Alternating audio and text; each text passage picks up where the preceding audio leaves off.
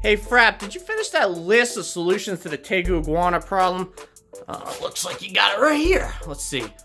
Poop all drinking. Frap, come on. We're not pooping in drinking water. That's not gonna solve anything. Jeez, come on, take this seriously. Eat that giant rat. You mean the dog? That's a member of our family. He was here before you, and you know how he feels about being a rat. Sleep. I mean, I wanna officially rename Tig. Oh my god, Frap, that is genius. Hey guys, how's it going? We are back with part three of this possible five part series. Think I might do at least four, I don't know about five yet, but we'll get there. Uh, but today we're going to talk about possible solutions to invasive species problem like the iguana and tegu in Florida. Now, it's not really easy to put together an effective solution. I don't want to downplay that. I only did about a week's worth of literary review on this, and I really came up with just very general things. Um, and it's specifically really hard to tackle the problem after an invasive species takes hold. So we're going to discuss a little bit about that, but there really needs to be a lot more research done on this topic to really figure out some effective solutions since this is a very big topic that not a lot of people have really thought through thoroughly. Uh, but first, before we get to it, make sure to check that lower right-hand corner, hit that subscribe button, hit the bell, leave a like, leave a comment. Let's get to the video. In summary, a lot of the research focuses on and promotes forming guidelines and procedures for preventing invasive species before they can take hold in a new area. A lot of the research does not focus on what to do when an invasive species gets established.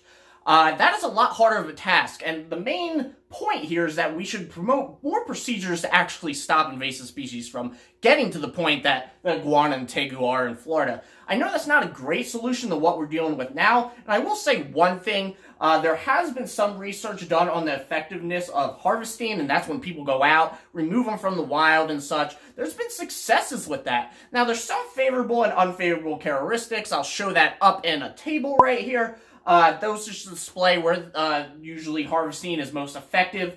Um, and things like, or uh, animals like the Burmese python, they're not really that easy to locate and find, and that's probably one of the most difficult parts of doing some type of harvesting and removing them.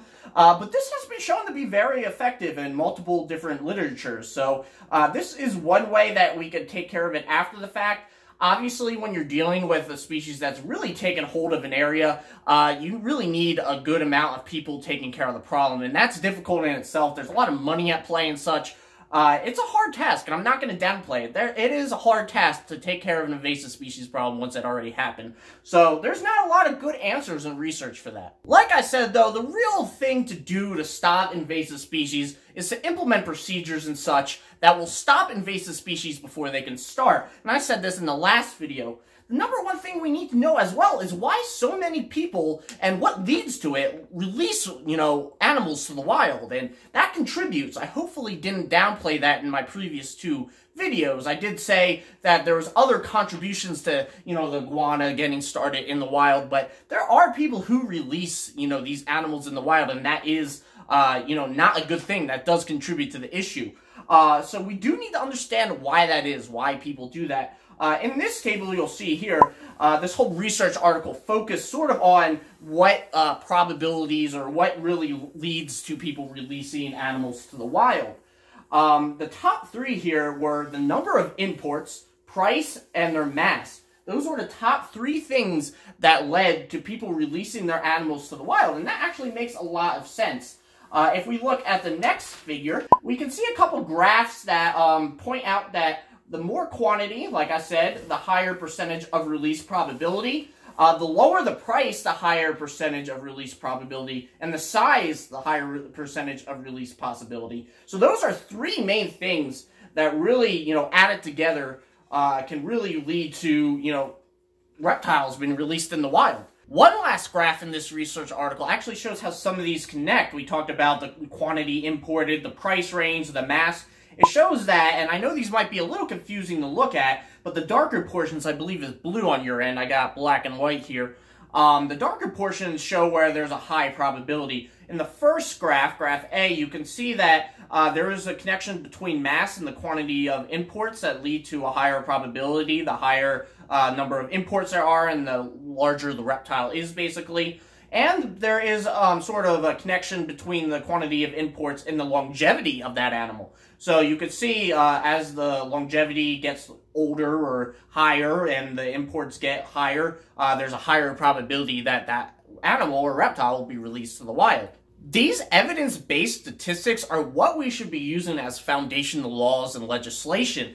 These are the things that need to be taken care of, monitored, whatever, and looked at to form good laws to prevent invasive species, not an outright ban. We look at why animals are being released, we can stop it. Now, this last piece of research we're going to look at is actually based on some legislation in the EU to combat invasive species. Uh, I want to start by reading a little bit of an excerpt that I think makes a very good point and is pretty much what I'm promoting. Um, it says the legislation entered into force on January 1st, 2015, and is commendably underpinned by a consensus among scientists and policymakers that prevention is better than cure. Basically, we need to stop it before it starts and not wait until it's here to take care of it. I think that's very important. So I did just want to state that that's a you know a belief in research as well, not just me. Uh, additionally, we're going to look at two tables. Uh, basically, these are things that need to be tackled in order to create effective legislation to combat invasive species before they, you know, get introduced into a new ecosystem and take over. Because like I just said, they're looking for prevention, not a cure. So in this table right here, you'll see sort of a list of things that they believe that they need to tackle in order to successfully implement um, this law in the EU. They talk about uh, creating an inclusive and dynamic list of species of concern that can be dropped on and off and don't have to go through many, you know, procedures or whatever you want to call it, many iterations of trying to get them on and off the list. Uh, so it's very flexible, pretty much. Uh, they also talk about budgetary restraints, which is, of course, a problem. You really need to understand uh, how much money rules the world, and uh, that's a big portion of any law. Um, and lastly, it's really about um, you know responsibility, regional cooperation, observation of industry and stuff, and us working all together. We all have to contribute and sort of respect nature.